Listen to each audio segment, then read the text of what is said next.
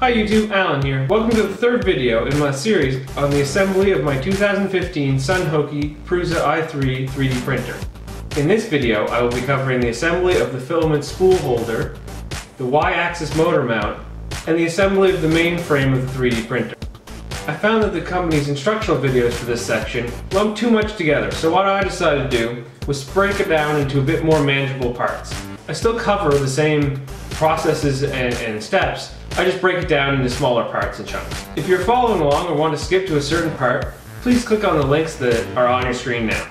If you have any comments or concerns or questions, please leave them down in the comments below. To keep up to date with my build videos and any future 3D printing adventures, don't be afraid to click the subscribe button down below. Now let's get to it. So on this part of the build video, we will be assembling the spool holders. For this, we will need four acrylic parts, four M5 by 25 millimeter screws, eight M5 washers, four M5 nuts, and eight M5 bearings. So we're just going to take our acrylic part, two M5 screws, and put them into the holes. And we're going to take two of the M5 washers and put one on either side. One on either screw, and then put a bearing on each. And a bearing going the opposite direction. So that we end up with the groove there. And then finally another set of washers, the other acrylic piece, and two M5 nuts.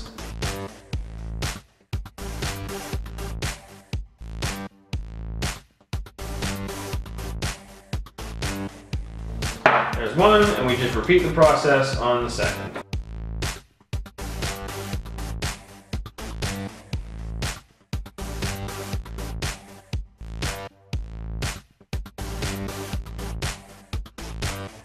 So there we are, with the two spool holders. And the spool sits right on top and spins quite easily. Just like that. In this part, we will assemble the Y-axis motor mount. For this, we'll need three acrylic parts, one T2.5 pulley, one stepper motor, three M3 by 16 millimeter screws, two M3 by 12 millimeter screws, four M3 by 10 millimeter screws, five M3 nuts, and one end stop. So now let's start putting this together. When mounting the acrylic part, the motor to the acrylic part, we want to note that the slanted part will go on the bottom of the motor.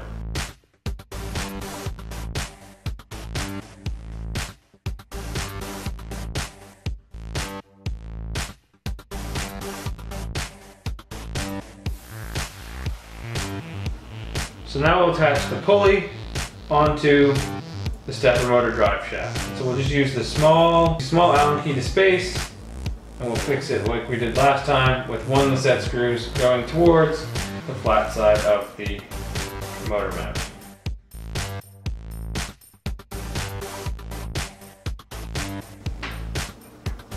There we go. So set, set that aside for a second. The end stop is going to go on the side. So we just want to have it mounted like this.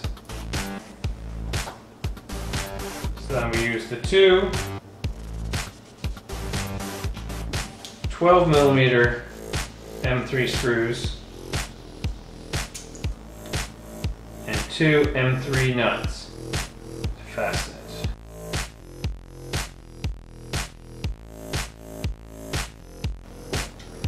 we'll mount this on like we did do previously with one M3 by 16 millimeter bolt and one M3 nut.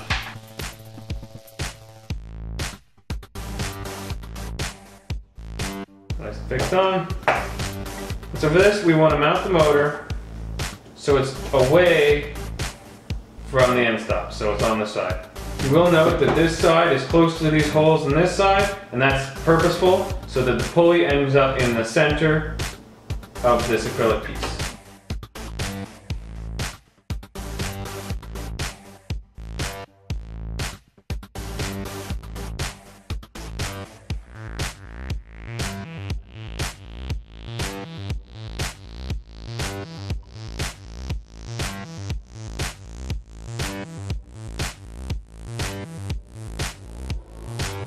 You want to make sure that these are nice and snug so the motor doesn't move, but not too tight that you'll crack the acrylic.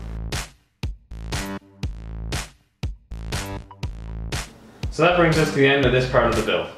In this part, we will be assembling the main frame of the printer. For this, we'll need the three large acrylic parts, the extruder assembly, two T8 lead screw uh, couplers, 14 M3 nuts, two M3 by 12 millimeter nut screws, 12 M3 by 16 millimeter screws, the two previously assembled Z motor mounts, and the previously assembled Y motor mount. We're just going to set everything aside for right now and focus on the extruder.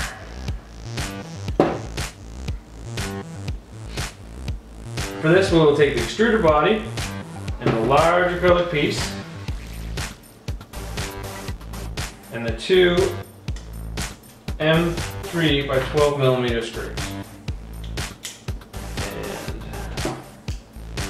Two M3 nuts.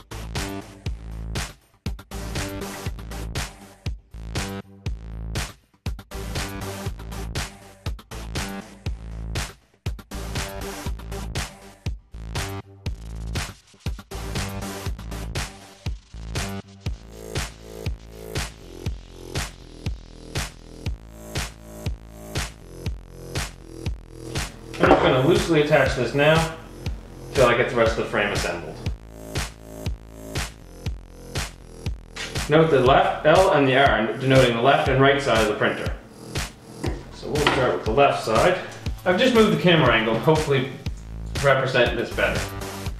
So with this, we'll need three M3 nuts and three M M3 by 16 millimeter screws,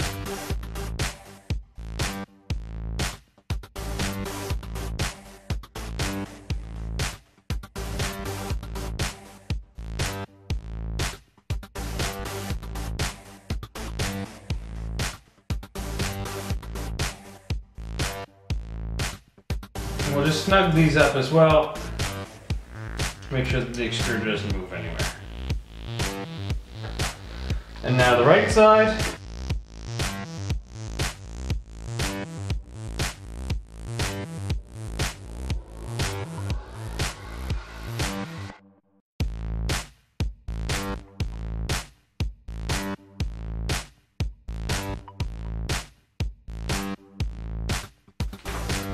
Now we'll turn this around and attach on the mounted Y motor.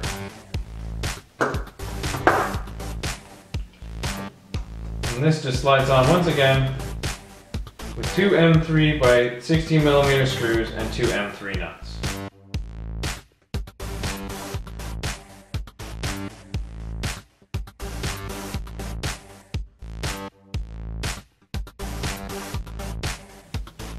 Now we'll mount the two Z-axis motors. We'll start off with putting on the T8 lead screw coupler. For this we'll need the two couplers and a wrench. With these couplers there's a wide end and a narrow end. The narrow end goes onto the motor drive shaft and the wide end goes onto the T8 lead screw. With these, we'll want to do the same thing we did with the pulleys and line up one of these set screws with the flat spot on the drive shaft. And then we'll want to tighten it down. We'll use a slightly larger one. Use an Allen key for a spacer, and then we'll want to torque this quite tight.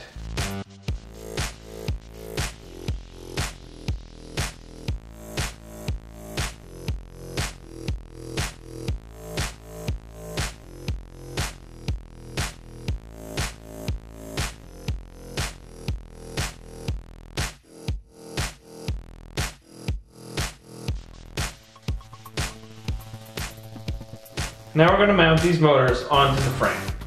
The top plate of each motor mounting has a little hole. This is where the Z-axis linear rail will insert. Um, this should be on the outside of, each, of the printer.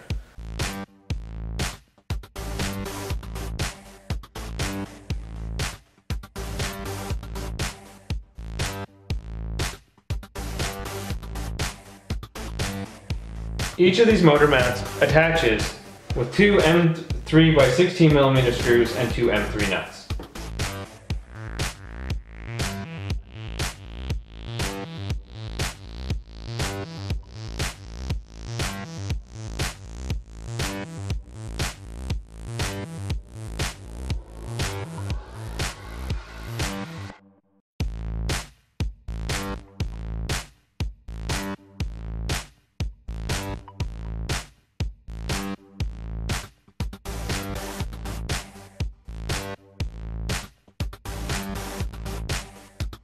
And that brings us to the end of the, this part of the build. It's really starting to look like a 3D printer now.